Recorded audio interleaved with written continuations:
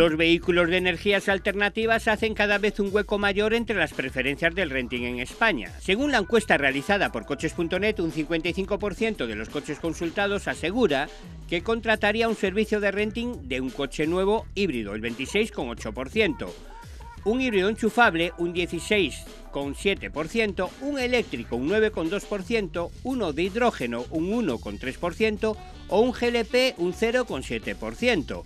Entre los que apuestan por el renting de un vehículo sostenible, el 60% considera que no debería aumentar el precio.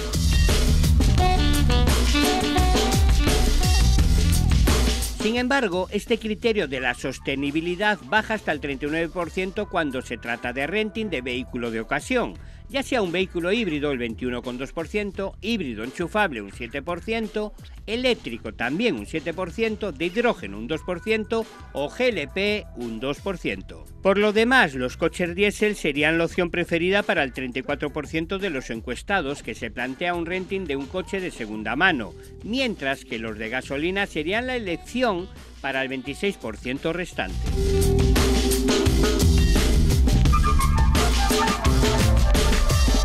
Llama la atención el importe que están dispuestos a desembolsar los usuarios por este servicio.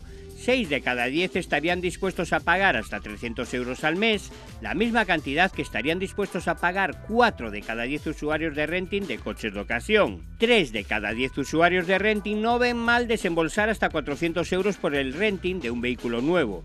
Solo el 10% de los consultados estaría dispuesto a pagar más de 400 euros mensuales.